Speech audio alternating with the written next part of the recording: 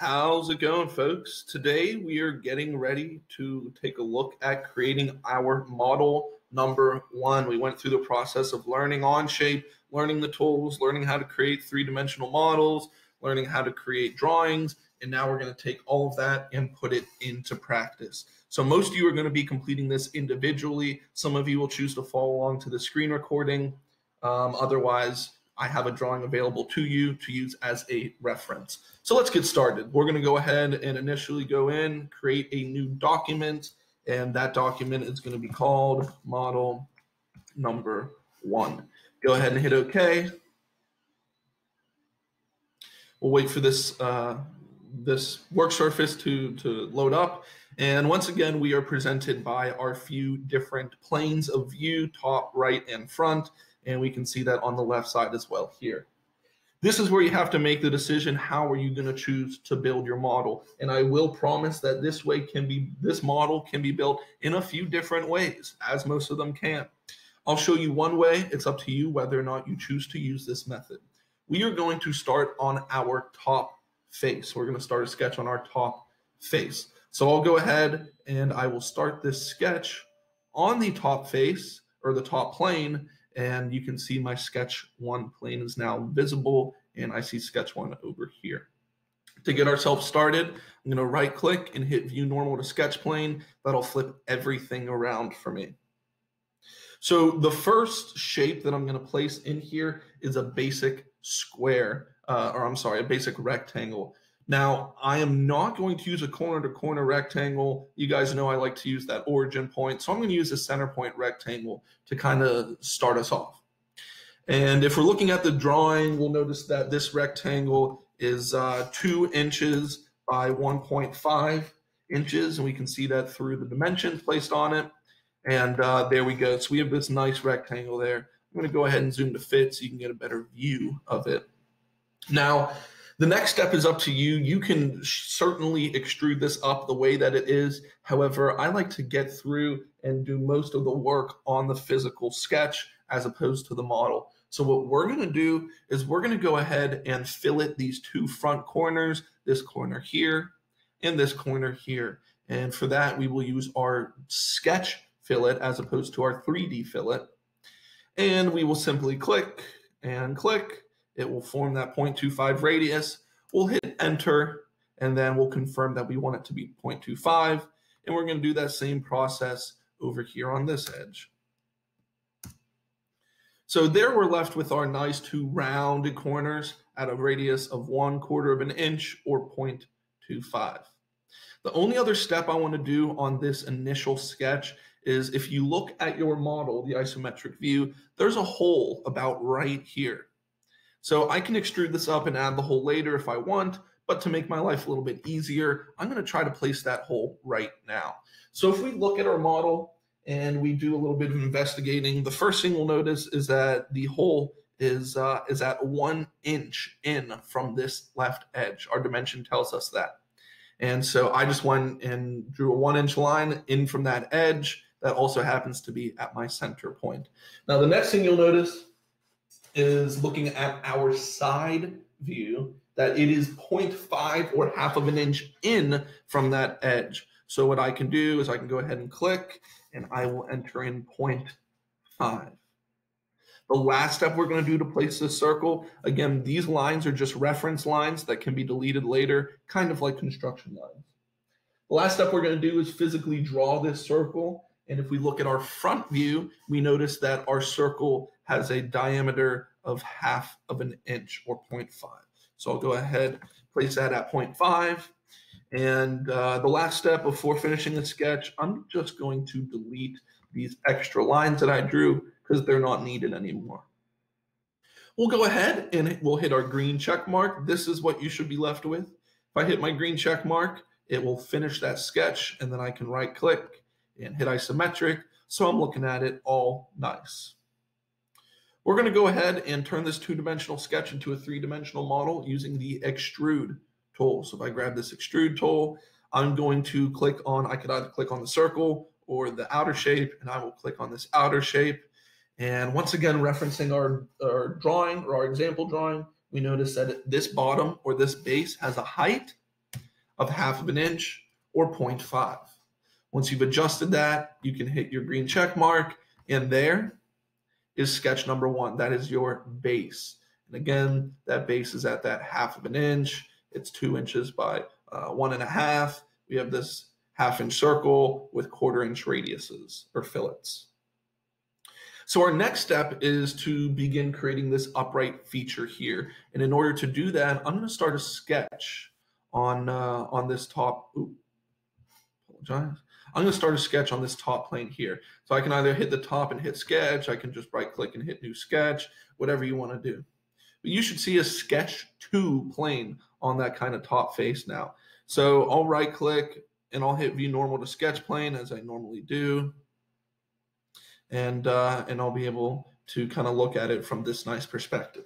Now, in order to create this uh, this back piece here, I want to be taking a look at uh, at my drawing again and trying to figure out the size of this back piece. So we'll notice there's a few uh, fillets on either side, on this side and this side. So we want to exclude those from our initial uh, our initial thing here. We'll notice from our front view that from this left edge, we have a distance of 0.5. So we'll go ahead and do a 0.5 inch reference line, that guy right there.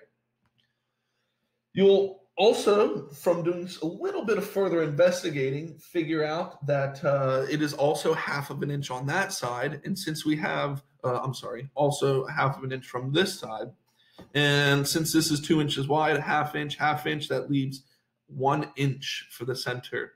And then a little further investigating from that drawing finds that we have a half inch distance for this piece here, a half inch going out. So I'll use my corner rectangle and I will create a one inch by 0.5 inch or half inch box. And this is what I'm going to use for my next extrusion. Once again, if I choose to, I can delete that uh, that erroneous line, that that redundant line, I guess, and uh, and we can finish our sketch. So green check mark, sketch is finished. Hit isometric, it will flip it around for us. Our next step is extruding this smaller box, this rectangle we just created uh, up. So we'll click our extrude button, we'll click our rectangle, and to find out how tall to extrude it, you have to do a couple, uh, just a little bit of simple subtraction. Our overall height is 2.75, and our base height is 0.5. So if we just subtract that 0.5, we are left with 2.25 for our overall height, and we'll hit our green check mark. I'll do a right click, zoom to fit, and you can see the top portion of our model here. We have a couple more extrusions to do. Before we do that, I'm going to go ahead and fillet uh, a couple features here. So you'll notice we have a fillet here we have a fillet over on this side here, and then we also have this rounded top. So in order to get all those features, I'm simply going to use my fillet tool, my 3D fillet tool, and I'll adjust this radius to 0.5 or one half of an inch. So when I adjust this to one half of an inch, I'm then able to click here and that creates this very nice fillet leading directly to the corner. I'll be able to click here if I slightly spin my model, I'll be able to do the exact same thing on the other side. And we'll create this really nice curved feature here. So you'll have four edges to click on. Once you click on them, hit your green check mark, and you're left with this. It's really starting to shape up, but we have a couple more things to do. The first thing we're going to do is we will right click and we will start a new sketch or left click and start a new sketch on this front face, this front face right here. View normal to sketch plane. And you'll notice that uh, we have a circle that kind of extrudes out from this top portion here. So in order to do that, we're simply going to go ahead with a center point circle. And I should be able to find the center point of the circle. You see that nice uh, orange box or square is showing us that. So if I click right when I get that orange box, I should be able to drag this out and once again use this reference point uh, or constraint, a tangent constraint. Or I can simply click and type one and that will do the exact same thing there for me. This is the only thing we're going to do in this sketch. So go ahead and create that circle. Make sure it's perfectly, perfectly aligned. And we will finish our sketch. We'll hit an isometric and we will extrude this circle out. So when I go ahead to the extrude button, I'll click on the circle and then I want to again take a look at my drawing and do some simple subtraction. I know that I already have a half inch thickness back here and I know that my overall size is one. So we need to adjust it to a half of an inch. Once I hit my green check mark, you can see these two parts are molded together and I have one last thing to do. I will right click. I will hit new sketch. I am going to view normal to sketch plane. And again, we're starting this new sketch on this front face right there, that front face right there. View normal sketch plane. And I can do this a few different ways, but I'm just going to choose to use a point. And if I just grab a point tool and go straight to the center of that, you'll see once again we get that uh, orange square. I'll click. That's all I'm doing is placing that point. Once I place that point, I can finish my sketch. I can hit isometric and I can do my very last thing for this model here. That is the hole, the hole. So if you go up here, it's a new tool that you haven't used, the hole tool. So if I click the hole tool, the first thing I want to do is reference a point. This is my reference point.